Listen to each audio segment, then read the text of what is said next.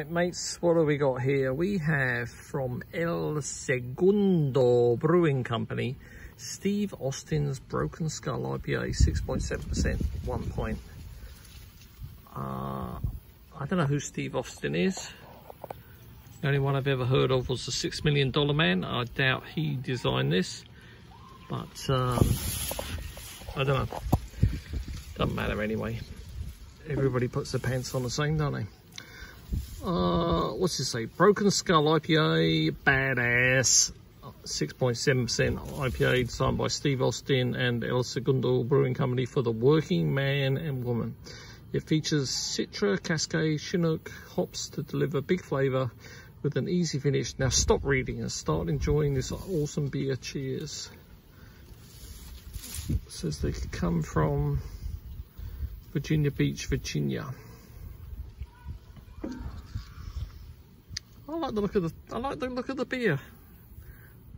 Hopefully it's not too poncy because it's designed by somebody famous. All right, gotta stay positive. Um, colour isn't really impressed me, but it's got some great bubbles. It's pretty lively. It's pretty good head. It says uh, packaged June 29th, 22. We're in September right now, so it's three months old. Sorry about that, motorcycle going past. Let's give this little top up. Might get all that. Nah, no bits floating around. Bit of sniff.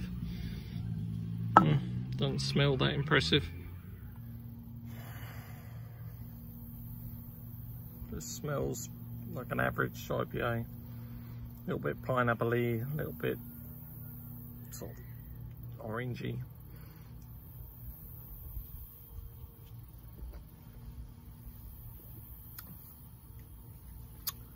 Nice and creamy. Not that dry, just dry when you swallow.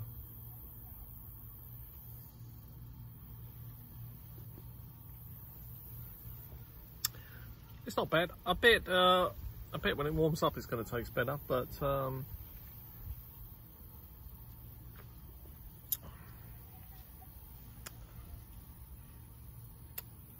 yeah, it's a little bit resinous-y, a little bit um, fruity, but it just tastes like an average IPA. I mean, if you, you would not be able to pick this out and go, oh, that is the whatever. I mean, I don't even know, what was it called? Broken Skull IPA. Oh, I wouldn't be able to drink that again and, and go, oh yeah, that's the Broken Skull IPA.